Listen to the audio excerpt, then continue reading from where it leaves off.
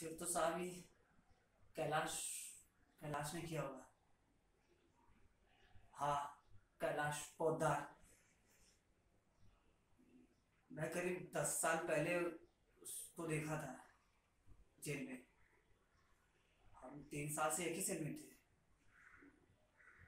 तो थोड़ा सा पागल भी था साहब। हर रात अपने मर्डर के किस्से सुनाता था। पैर काट के फेंक देता और शरीर नदी नदी में बहा देता था हाँ। बहुत शौक था उसे। जो कोई भी बैठ जाता, उसका दिमाग खा जाता था। तो इसलिए मैं तीन साल रहा, उसका बात सुन सुन के मेरी उससे दोस्ती हो गई थी। मैं, लेकिन उसके एक साल एक साल पहले छोड़ गया था सर मेरे हाँ मेरे छूटने के एक साल एक साल बाद वो आया था। तो उसकी खुशी में मैंने सर एक पार्टी रखी थी। उसको एक रंडी खाने ले गया।